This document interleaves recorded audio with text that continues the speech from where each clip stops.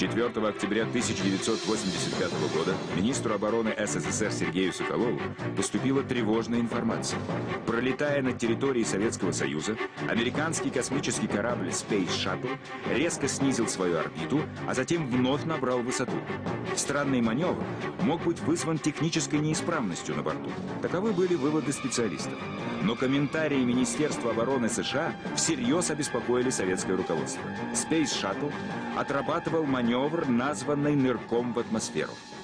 Ну, было такое мнение, что, значит, вот на орбите там 300-250 километров он может э, иметь э, ядерный запас и, совершив так называемый нырок над Москвой или там где-нибудь, э, сделать, в общем-то, обезоружить всю нашу противоракетную систему. Несмотря на скептическое отношение военных специалистов к технической возможности такого способа ядерной бомбардировки из космоса, советское руководство приняло решение об ускорении запуска собственного космического бомбардировщика «Уран». Мы расценивали американский шаттл в основном как имеющий военное значение.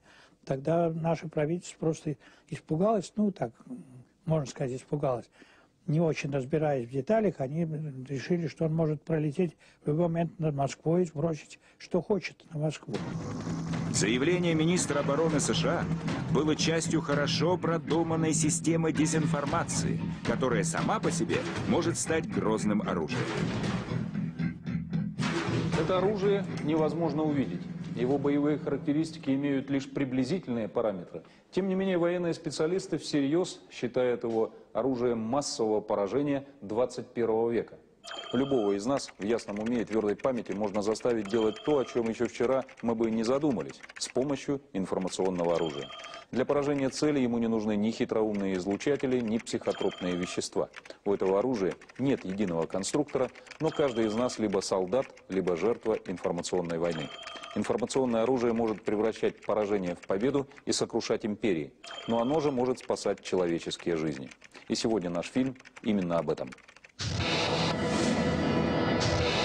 Невидимая война. 11 февраля 1945 года. Ялта. Премьер-министр Великобритании Уинстон Черчилль после заседания Большой Тройки Великих Держав заявил министру иностранных дел Энтони Идону, что Англия во внешней политике потерпела полное фиаско, и поэтому настал черед немыслимому. 22 мая немыслимое осуществилось на бумаге. Именно так назывался детальный план превентивной войны против Советского Союза, который был представлен Черчиллю штабом военного командования. Была указана даже дата начала наступления англо-американских войск – 1 июля.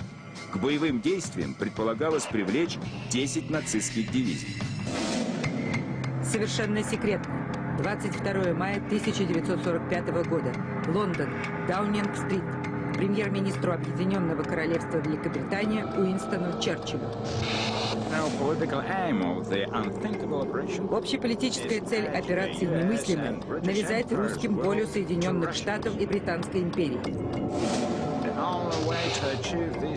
Единственный для нас способ добиться цели в определенном и долгосрочном плане – это победа в тотальной войне. Фельдмаршал имперского генерального штаба Алан Брук. Но две недели спустя, 8 июня, был отдан приказ о прекращении подготовки новой войны. К удивлению Черчилля, план операции «Немыслимые» не нашел понимания у нового президента США Гарри Трумана. На 16 июля были назначены испытания первой атомной бомбы. Оказалось, Соединенным Штатам уже не были нужны союзники в привычном понимании. Годом позже уже бывший премьер-министр Великобритании Уинстон Черчилль все же объявил войну СССР. Черчилль призывал опустить железный занавес между коммунизмом и всем цивилизованным миром. Объявленная им война позже была названа «холодной». Успехи коммунизма и международного коммунизма были впечатляющие. И влияние коммунистических партий во многих странах было почти доминирующим. Тогда руководство Соединенных Штатов Америки рассчитывало только на один беспроигрышный способ борьбы с коммунизмом. Каждый год в Пентагоне обновлялись планы нападения на Советский Союз с точным перечнем городов, которые должны были подвергнуться атомной бомбардировке. Назначались и многократно переносились даты этого нападения. В самой Америке комиссия сенатора Маккарти без устали изыскивала общественных деятелей, заподозренных в симпатиях к коммунизму. 22 мая 1949 года министр обороны США Джеймс Форестел, услышав на улице звук пожарной сирены, заявил, что это грохот русских танков и с криком «Русские идут!» выпрыгнул из окна небоскреба, обессмертив эту фразу. Антисоветская истерия в то время принимала действительно патологические формы, и соблазн покончить с коммунизмом массированным ядерным ударом был очень велик. На 29 августа того же года остудило многие горячие головы.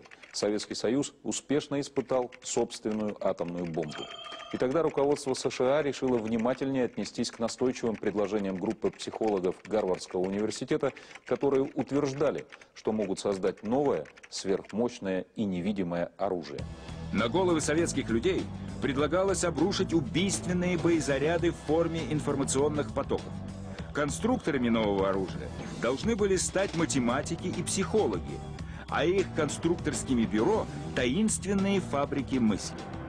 Первой опытной площадкой по созданию информационного оружия стала небольшая фирма из Калифорнии Rand Corporation.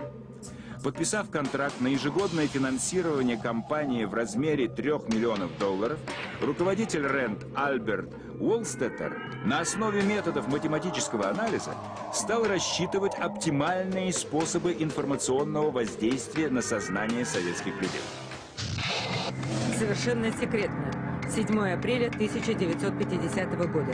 Вашингтон. Директивы Совета национальной безопасности номер 68. Нам нужно разработать методы экономической, политической и психологической войны с Советским Союзом. Мы должны руководить строительством политической и экономической системы свободного мира. Совершенно очевидно, что будет более эффективным, если эти изменения явятся результатом действия внутренних сил советского общества. Президент США Гарри Трумэн. За полгода до появления этой директивы в оккупированном американскими войсками Мюнхене начала работу загадочная лаборатория специалистов Гарвардского университета под руководством Натана Лейтиса. Они задались целью изучить психологию советских людей и найти способы деструктивного влияния на массовое сознание. Суть Гарвардского проекта состоит в привлечении большого количества людей, которые в силу разных причин являются подходящим материалом для того, чтобы создавать брожение в обществе. В Мюнхенской лаборатории стали появляться бывшие советские граждане, которых в Западной Германии после войны осталось не менее 250 тысяч. Испытуемые подвергались хитроумным тестам. Гарвардским специалистам предстояло понять загадочную русскую душу. После четырех лет работы, 13 тысяч интервью, выводы ученых просто изумили американское руководство. Неожиданно для исследователя оказалось, что все эти люди э, весьма доброжелательно, с большим, так сказать, вдохновением, так сказать, относятся к успехам, достижениям советской власти. То есть они несут в себе совершенно другие нравственно-ценностные установки. Почти никто из испытуемых даже в мыслях не допускал возможности работы против своей страны. По итогам работы гарвардскими психологами была составлена обширная программа информационной войны с Советским Союзом. Искусство спецпропаганды предлагалось превратить в неотъемлемую часть военной науки. Во время войны способ доставки информационного боезаряда к цели приобретает сугубо военную форму. Вот так, например, выглядел английский агитснаряд во время Первой мировой войны. Он начинен листовками – которые после выстрела рассыпались над окопами противника. В разгар холодной войны самым эффективным средством доставки программ взлома массового сознания стали радиостанции. В 1950 году финансируемые США радиостанции «Свобода» и «Голос Америки» стали на некоторое время впрямую подконтрольны спецслужбам страны. Повод торопиться был. В небе над Кореей впервые столкнулись в бою советские и американские пилоты. По мнению советского правительства, для граждан страны участие в Корейской войне советских летчиков должно было оставаться тайной, но только не для тех, кто слушал «Свободу» и «Голос Америки». Для того, чтобы заглушить западные радиоголоса, во всех крупных городах Советского Союза развернулось строительство установок глушения. Люди с интересом слушали зарубежные радиостанции. А там, конечно, давалась э, дозированная информация новостная, давалась информация, которая э, сказать, э, заворачивала все эти новости в определенные, все-таки идеологические установки. Утром 4 октября 1957 года президент США Дуайт Эйзенхауэр вошел в зал заседаний Конгресса. Ему предстояло отчитываться за второй Перл-Харбор. Такими заголовками встретила американская пресса сообщение о полете первого искусственного спутника Земли. И самым страшным было даже не то, что спутник советский. Удар усиливался пониманием того, что ракета-носитель Р-7 может беспрепятственно достигнуть территории США. Неделю спустя, признав недостаточность влияния ученых на решение американского правительства, президент Эйзенхауэр подписал указ о создании управления перспективного планирования научно-исследовательских работ. Отныне сотрудничество с фабрикой мысли стало постоянной составляющей работы государственной машины США. Искусство, оно родилось не в 20 веке, оно родилось давным-давно. Еще Суньцзы э, говорил, что тот, кто владеет информацией, тот владеет и правит миром. Поиск пропагандистских инструментов в конечном счете привел к появлению новой науки – социальной психологии. Искусство создания программ управления толпой основывалось на теории информационных вирусов как специфического инструмента ведения войны. Информационный вирус – это скрытая программа, приводящая к дезориентации массового сознания. Эти вирусы создаются как набор очевидных умозаключений. Преподносимые в определенной комбинации, они приводят к неожиданным результатам. Для сознания советских людей информационный вирус описывался несложной формулой. В плохой жизни виноваты коммунисты, но коммунисты строят новую Российскую империю. Значит, чтобы жить по-человечески, надо избавиться и от коммунистов, и от великой державы. А значит, во всем виноваты русские. Звучит дико, но эта пропагандистская модель была принята на вооружение. Более того, 17 июня 1959 года в США был принят закон о порабощенных народах. На территории СССР конгрессмены насчитали 22 порабощенных народа. Соответственно, на 22 государства и должна быть расчленена коммунистическая империя. Кроме того, специальная резолюция Конгресса обязывала американских президентов ежегодно третью неделю июля провозглашать неделей порабощенных народов. В начале 60-х годов в Советский Союз из американской командировки вернулась группа советских стажеров-аспирантов. Место стажировки – Колумбийский университет. Одного из аспирантов Олега Калугина вызвали для неприятной беседы в Комитет государственной безопасности. Ему были предъявлены фотографии, на которых советский стажер был запечатлен в компании сотрудников ЦРУ. Но для будущего генерала КГБ дело окончилось легким испугом. Существовало специальное управление в Комитете государственной безопасности, которое тоже вот с Э, потенциальными питомцами Гарвардского проекта работал уже на этапе э, их нахождения у себя в стране, в Советском Союзе. Их активно привлекали для различные рода работы. Но, как потом выяснилось, многие из них оказались и питомцами и управы пятого управления КГБ, и питомцами одновременно Гарвардского проекта. Руководители советских спецслужб были прекрасно осведомлены об одной из самых парадоксальных методик Гарвардского проекта. Идеальным объектом идеологической перекодировки предполагалось сделать активных членов коммунистической партии среднего звена. Эти люди специально точечно отбирались. Они приглашались на различные конференции, туристические поездки, где с ними работали, разговаривали на различные идейно-политические темы, где они соглашались, убеждались, для этого создавали условия для того, чтобы они были убежденными, и возвращались оттуда, облетев, образно говоря, словами Бориса Николаевича Ельцина, статую свободы уже другими людьми. В январе 1968 года, в день празднования Нового года, в столице Южного Вьетнама Сайгоне, было атаковано американское посольство. Городское радио распространило призыв вставать на борьбу с американскими оккупантами. В эти непростые дни в Сайгоне появились специалисты Rand Corporation. Вскоре важнейшие американские боевые операции стали планироваться на те дни, которые были неблагоприятными по вьетнамским народным поверьям. По ночам в сторону вьетнамских позиций через громкоговорители транслировались вопли ужаса, погребальная музыка, вой диких зверей. Массированные вертолетные атаки часто сопровождались громким исполнением воинственных мелодий Вагнера и Бетховена. Ну все, труби, полетели.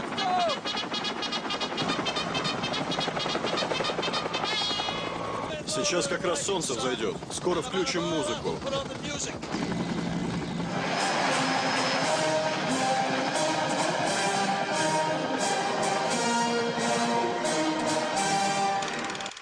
18 августа 1968 года руководитель СССР Леонид Брежнев позвонил президенту США Линдону Джонсону. Его интересовало, признает ли и сегодня американское правительство соглашения, подписанные в Ялте и Потсдаме в полном объеме.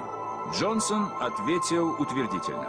В тот же день в штаб советских войск Германии был вызван политработник Леонид Шершнев. Когда выяснилось, что полковник случайно успел прочесть одну книгу на тему спецпропаганды, ему было приказано немедленно приступить к освоению этого искусства. Ну, собственно говоря, меня после этого э, взяли вот эту спецпропаганду, вот в эту, так сказать, новую для меня совершенно сферу. До этого я даже не знал. Это учтите, что я прошел, ну, я же учился вот, э, в училище, и никогда даже не слышал. Три дня спустя в составе группировки войск пяти стран-участниц Варшавского договора Леонид Шершнев был отправлен в Чехословакию. Боевая задача была малопонятной – недопущение контрреволюционного мятежа в братской стране. В первый же день на улицах Праги началась стрельба. Погибло около ста человек но наращивание военного противостояния не входило в планы советского руководства. И военным было настоятельно рекомендовано искать способы избегать кровопролития. Открывает э, чех кабину автомобиля и солдату говорит, ты оккупант, ты зачем сюда пришел? А тот в это время ест, так сказать, э, кусок хлеба, там, скажем, с салом, и ему говорит, а ты контра, такую твою розе такую. И все, и вот они объяснились. Проходили дни, но серьезных столкновений не было.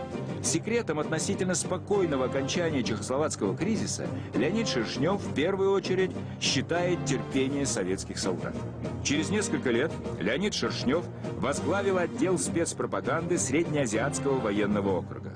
Он был убежден в том, что с помощью информационных технологий можно не только выиграть, но и предотвратить войну. Совершенно секретно. 24 января 1977 года. Москва, Кремль, Политбюро ЦК КПСС. ЦРУ разработала программы индивидуальной подготовки агентов влияния, предусматривающие приобретение ими навыков шпионской деятельности, а также их концентрированную политическую и идеологическую обработку. Руководство американской разведки планирует, не считаясь затратами, вести поиск лиц, способных по своим личным и деловым качествам занять административные и партийные должности в Советском Союзе. Председатель КГБ СССР Юрий Андропов. В 1977 году Леонид Шершнев представил в Генеральный штаб аналитический доклад о положении в Иране, вызвавший у руководства недоумение. Поводом к его исследованию послужило сообщение разведки о том, что радикальный исламист Аятолла Хомейни закупил в Париже миллион аудиокассет для записи своих проповедей. Шершнев сделал вывод, что в ближайшие два года в Иране следует ожидать революцию под радикальными исламскими лозунгами. Недоумение армейского руководства было понятно. Иран был процветающей страной, возглавляемой проамерикански настроенным шахом Мухаммадом Реза Пехлеви. В его подчинении находилась лучшая армия региона. Тем не менее, два года спустя, 16 января 1979 года, эта армия отказалась стрелять по демонстрантам, а Шах был вынужден бежать из страны. И вот мы видели, как эта армия очень быстро разложилась. Как эта армия не стала, вот направили танки, э, скажем, на толпу. Нашлось там несколько э, человек, там были группы созда- созданы среди них, как мы потом исследовали, элементарно с молотовым коктейлем, ну, подожгли несколько танков, и, больше, дальше, и дальше танки не пошли. И вот это все очень быстро раз- разлагалось, и шах ушел. И шаха не стало. Когда Шершнева вызвали к армейскому руководству для выражения благодарности за хорошо проделанную работу, герой дня явился на встречу с толстой папкой документов. В ней был подробный перечень информационных мероприятий в случае ввода советских войск в Афганистан. Я когда принес ее на доклад, то вместо благодарности я услышал упрек. Никому не показывать. Откуда у вас такие мысли, что мы будем ходить в Афганистан и так далее, и так далее. Вы понимаете? Десять месяцев спустя колонны советской бронетехники пересекали советско-афганскую границу. Передовые части были укомплектованы выходцами из мусульманских республик СССР. Каждому бойцу вручалась книжка-памятка о том, как правильно вести себя в Афганистане за подписью полковника Шершнева. Солдаты дружественных армий. Их часто можно видеть рядом. И в минуты отдыха, и в бою, и в день добровольного труда, хашара, как его здесь называют. Мы побывали на одном из таких дней, когда воины участвовали в строительстве новых корпусов детского дома Ватан, Родина. Ибо советский воин не только защитник, но и созидатель. 21 января 1981 года 40-м президентом США стал бывший голливудский актер Рональд Рейган. У команды нового президента была своя стратегия достижения военного превосходства над Советским Союзом. Автором новой концепции был гарвардский историк Ричард Пайпс. Информационное противоборство сверхдержав, по его мысли, должно переместиться в поле противостояния символов. Если навязать противнику свои символические стереотипы, то его действия будут запрограммированы логикой этих стереотипов. Выступая в британском парламенте, Рейган призвал к новому крестовому походу против коммунизма, а Советский Союз был объявлен империей зла. У героев голливудских фильмов стали появляться новые враги.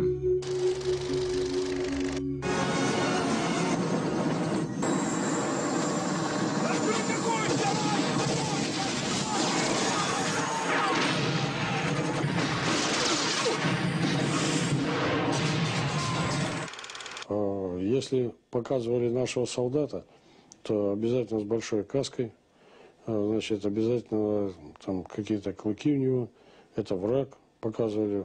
То есть э, задача американца побить плохое, борьба со злом. В последних числах мая 1983 года группа выдающихся советских ученых была вызвана в Кремль.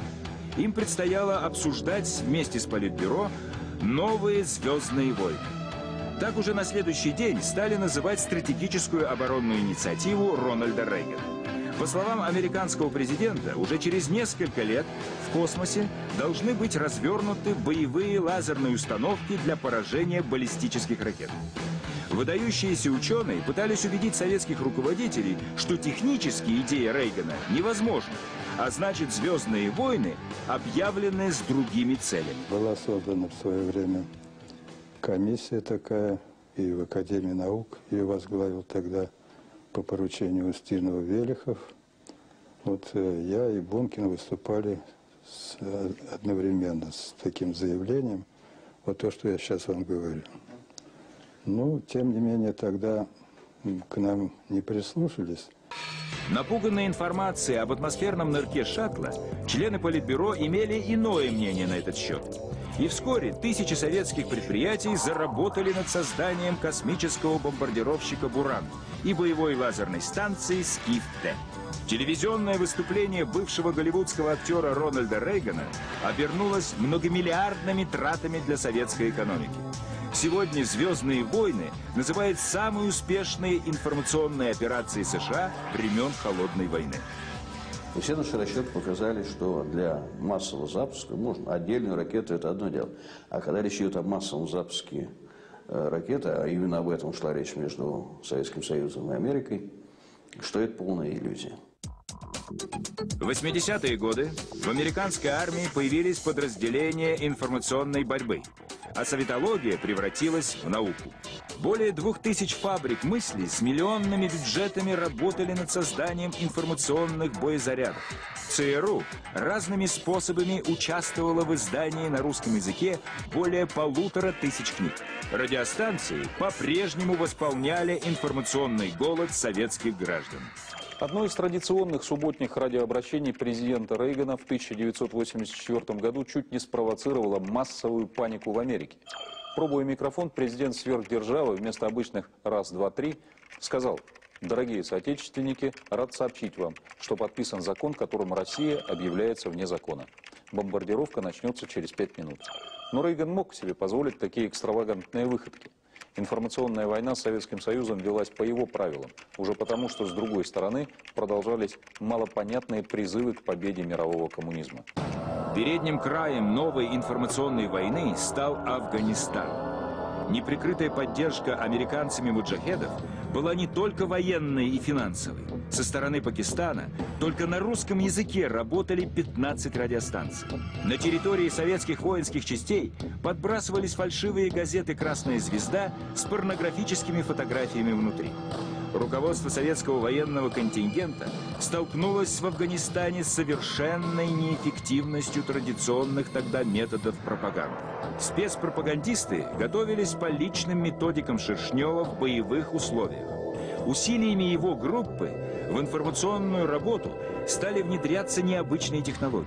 Один из таких приемов сегодня принято называть технологией слухов. И лучшим средством массового распространения слухов в Афганистане стали городские базары. Уходя с этих базаров, можно получить массу было информации с разным направлением. В том числе информацию чистого разведывательного характера по которой можно было принимать меры на упреждение какой-то акции, засады, нападения на нашу колонну или проведение какой-то провокации. Ну и, естественно, для нас это стало очень серьезным полем для распространения своей информации. В начале 1988 года ставший генералом Леонид Шершнев предоставил ЦК КПСС секретный доклад, из которого следовало, что пропагандистские приемы новой советской политики можно охарактеризовать как информационные вирусы, деструктивно действующие на массовое сознание. По мысли Шишнева, уже в ближайшие годы можно было ожидать кровавых межнациональных конфликтов на территории СССР. Он утверждал, что готов создать информационные спецподразделения для предотвращения этих конфликтов. Оттуда записку прислали начальнику главного политического управления. Тот э, меня пригласил. О каком вы поражении говорите? У нас миллион коммунистов в армии. У нас 5 миллионов армии, у нас самая сильная КГБ, а вы говорите о поражении. Будем с вами расставаться. Вот зачем вы писали в ЦК записку. Вот так и закончилась моя карьера. Советские люди в те дни жили в пространстве новых символов. Перестройка, ускорение, гласность. Но гласность для многих выглядела как глумление над идеалами их молодости. Не готовые к перестройке руководители подтолкнули экономику к развалу. Резко выросли цены. В это время в страну стали приходить первые многомиллионные инвестиции в рамках многочисленных проектов с целью содействия демократизации. Судьба большинства из этих инвестиций до сих пор неизвестна. Но можно предположить, что некоторые их адресаты не имели благородных целей. Мы всегда ищем врага где-то на стороне. А враг внутри нас. Здесь враг внутренний сильнее, чем какой-либо внешний. Конечно, эти э, воздействия Запада, они и тогда были, они и сейчас продолжаются. И вот эта угроза, она имеет как бы внешний источник, но реализуется нами самими на нашей земле. Противники по холодной войне в одночасье стали союзниками в борьбе за демократию. Но каждая из стран по-прежнему должна была отстаивать свои геополитические интересы. Тем не менее, по договоренности с западными лидерами сокращались в основном советские войска и уничтожалось советское оружие. А в советских республиках разгорались кровавые конфликты, инициаторами которых нередко становились недавние партийные функционеры. Наша бюрократия, наш элитарный слой, наш э, партийный аппарат, верхние слои, э, они э, уже давно, так сказать, были оторвавшиеся от духовно-нравственной традиции, вполне естественно был естественный переход на сторону, так сказать, конкурента. Поэтому говорить о каком-то вот, предательстве в одночасье ради там, спасения своей жизни, там, то есть какой-то совершенно негативный поступок, наверное, здесь так говорить нельзя. 2 августа 1990 года иракские войска перешли границу с Кувейтом и в тот же день захватили его столицу. К ноябрю прекратились все дипломатические попытки решения этого конфликта. Президент США Джордж Буш-старший заявил, что в ближайшие 10 месяцев Ирак может изготовить ядерный боезаряд. Мировое сообщество посчитало необходимым встать на защиту Кувейта. В открытой печати США начался шквал противоречивых и преувеличенных сведениях о количестве войск и сроках начала военной операции. Телевидение и газеты подробно описывали учения по подготовке морского десантирования на побережье Кувейта. В Ираке они осуществляли массовый заброс э, радиоприемников, которые работали на определенной частоте э, и не более значит, портативных телевизоров тоже, а, по которым, э, которые были устроены только на определенную программу, и это телевидение, радиовещание велось ну, круглосуточно. Вопреки ожиданиям, наступательная операция «Буря в пустыне» началась на суше. Впервые мир видел войну как телевизионное шоу в прямом эфире. Время бомбежек точно приходилось на время выхода новостей в США. Журналисты в прямом эфире комментировали потрясающую точность крылатых ракет «Томагавк». Каждый день на экране появлялись все новые образцы сгоревшей советской техники, которой были вооружены иракские войска. Но когда война закончилась, где эти оказались сотни тысяч танков? Где десятки тысяч пленных? Если бы это было сотни тысяч танков, наверное, они бы сделали большую ну, гору магниту из этих танков, и, и этот памятник, наверное, остался бы на века, возможно. Не было этого.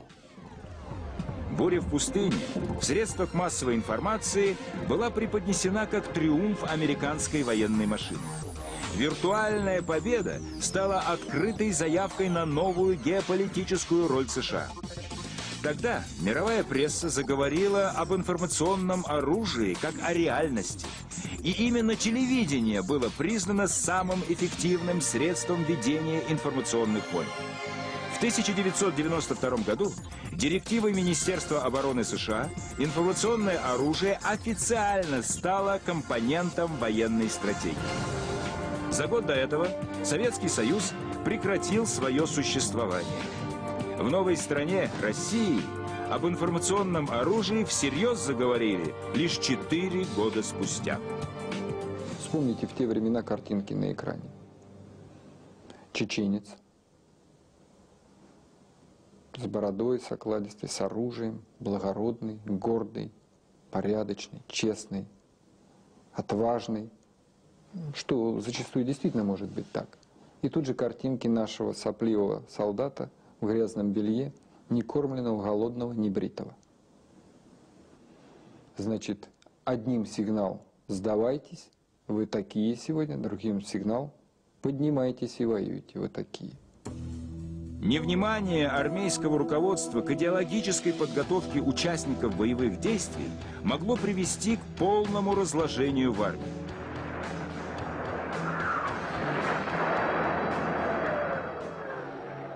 Осенью 1995 года в одной из американских газет появился текст шокирующих заявлений президента США на закрытом заседании Комитета начальников штабов. Для служебного пользования. 25 октября 1995 года. Вашингтон. Министерство обороны США. Мы добились того, что собирался сделать президент Трумэн Советским Союзом посредством атомной бомбы. Правда, с одним существенным отличием. Мы получили сырьевой придаток, а не разрушенное атомом государство, которое было бы нелегко создавать.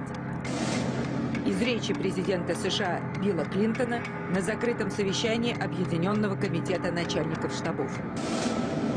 В 1997 году по инициативе Агентства национальной безопасности США проводились необычные военные учения – решено было проверить возможности использования военных целях новой информационной технологии – компьютерной сети интернет.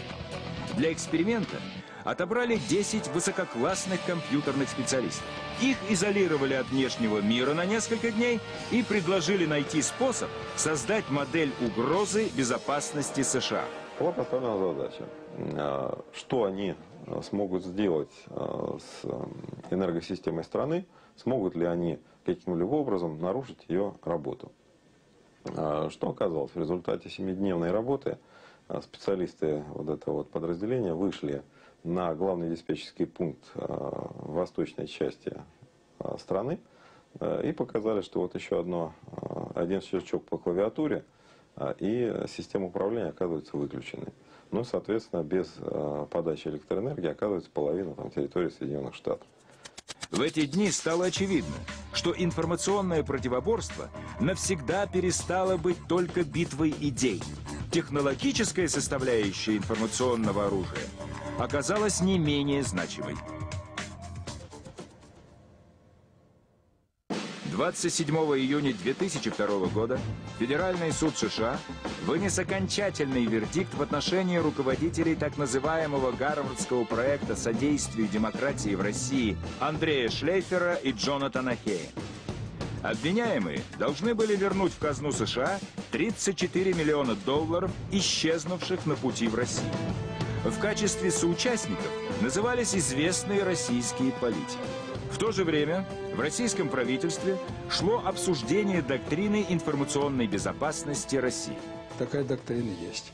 Можно ее критиковать, э, она в значительной степени сыровата, но, по крайней мере, это э, как бы основополагающий, такой ну, базовый нормативно-правовой документ, на базе которого нужно строить, э, организовывать противодействие угрозам в этой сфере, в информационной сфере. Бурное развитие телекоммуникационных систем в последние десятилетия перевернуло наше представление о мире. Сегодняшнее состояние человеческой цивилизации все чаще обозначают как информационное общество. В самом ближайшем будущем вживление электронных носителей информации в тело человека станет реальностью. А значит, станет реальностью новый тип ведения информационной войны. Искусство войны основано на клевете и обмане, утверждал древний китайский философ Суньцзы. Но сегодня искусство клеветы и обмана востребовано для продолжения войны другими средствами. Кстати, закон Конгресса США о расчленении нашей страны не отменен до сих пор. В соответствии с ним конгрессмены должны позаботиться о том, чтобы на месте нынешней России возникли еще 8 новых государств. А значит, история информационных войн не закончена. И от каждого из нас по-прежнему зависит исход этого противостояния.